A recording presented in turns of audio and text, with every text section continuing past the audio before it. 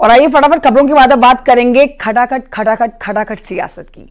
PM Modi ने प्रतापगढ़ की rally में राहुल गांधी के खटाखट वाले बयान पर जमकर पलटवार किया।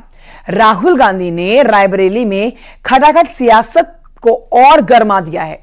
उन्होंने कहा है कि मैं खटाखट बैंक अकाउंट में पैसे डालने की बात करता हूँ तो प्रधानमंत्री टकाटक बयान दे देते हैं।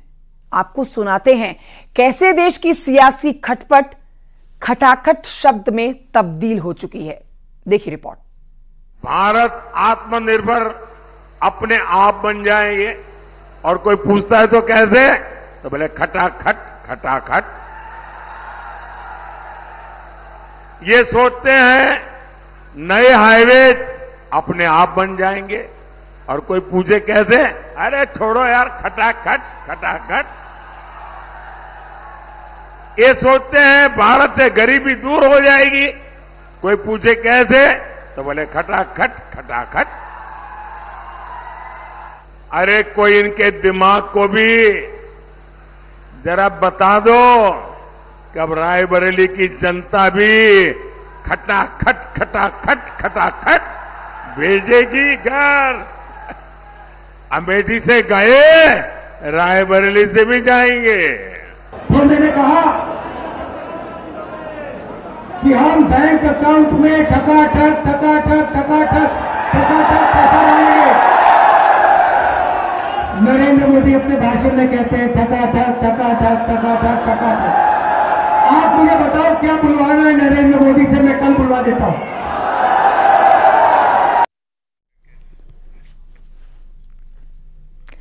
तो पाँचवें चरण में अमेठी और रायबरेली का रण और भीषण हो चुका है। क्योंकि एक तरफ़ बीजेपी के चाणक्य अमित शाह रिकॉर्ड कायम करने के लिए रणनीति बिठा चुके हैं।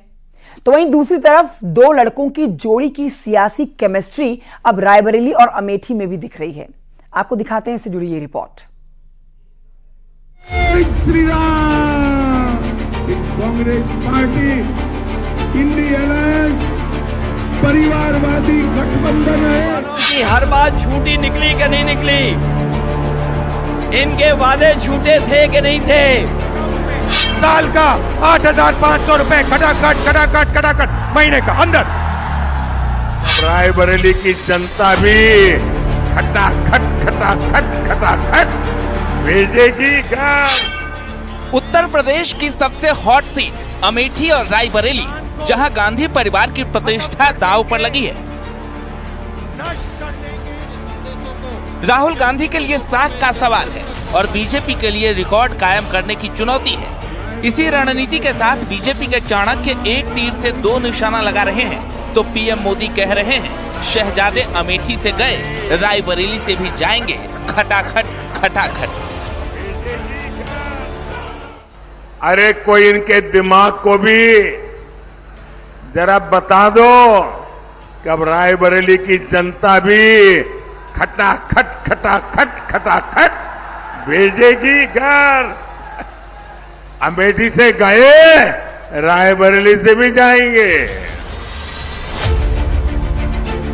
पाँचवें चरण की लड़ाई इसलिए भी दिलचस्प है, क्योंकि स्मृति ईरानी की अमेठी और राहुल गांधी की रायबरेली सीट पर वोटिंग होगी, जिसके लिए गांधी परिवार के साथ ही बीजेपी के चाणक्य ने भी मोर्चा संभाल लिया है, और मंच से सियासी बाण छोड़े जा रहे हैं। अब हम लोग कहते हैं 400 पार 400 पार।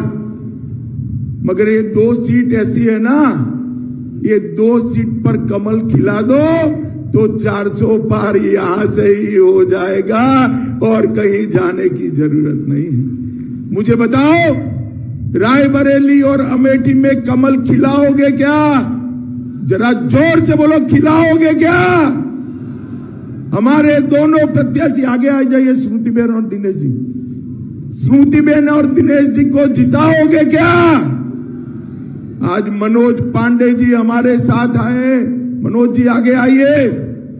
मनोज जी ने सनातन का साथ देने के लिए भारतीय जनता पार्टी ज्वाइन की है।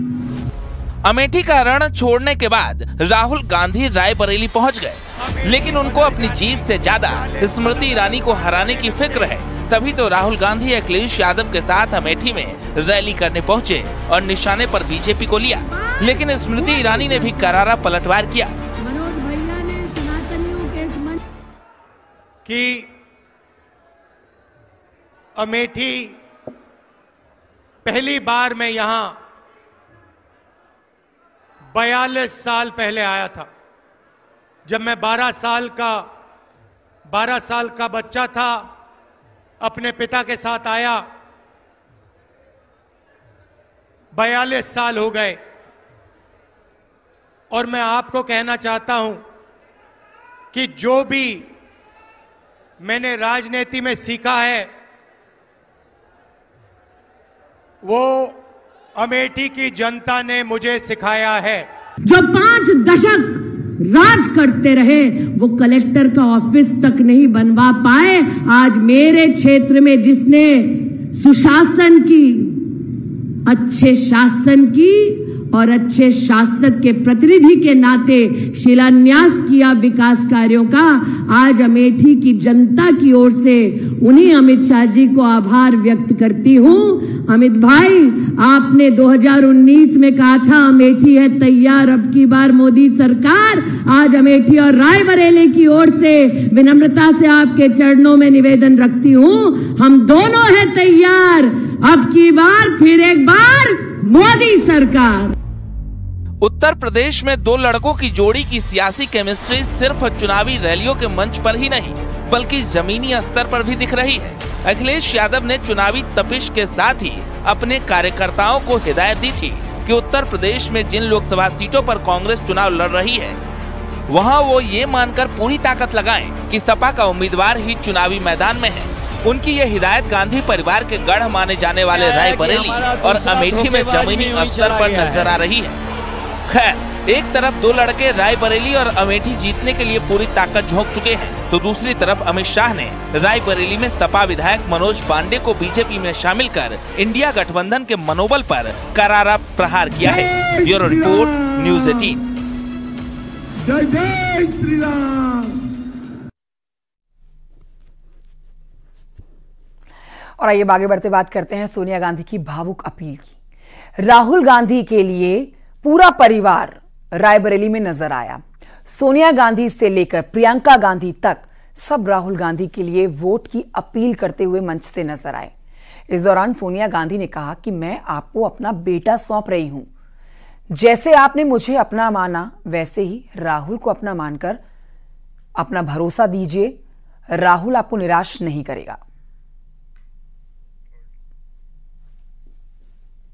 मेरा सब कुछ आपका दिया हुआ है।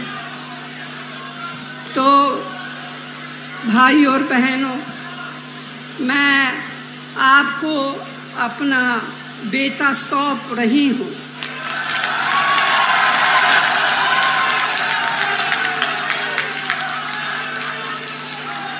अपना बेटा सौंप रही हूँ, जैसे आपने मुझे अपना अपना माना, वैसे ही वैसे ही राहुल को अपना मान कर रखना है। ये राहुल आपको निराश नहीं करेगा।